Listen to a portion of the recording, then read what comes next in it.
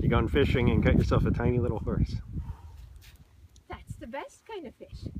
Horsefish.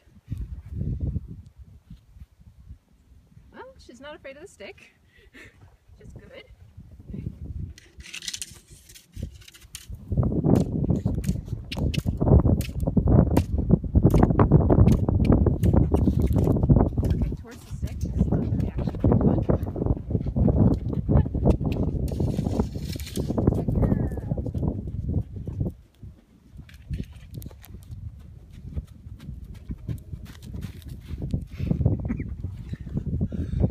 Hey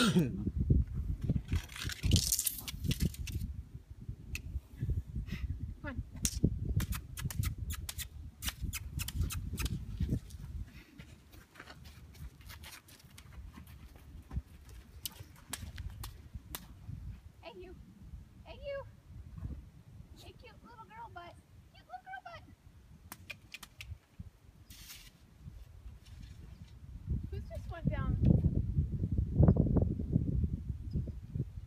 Down there.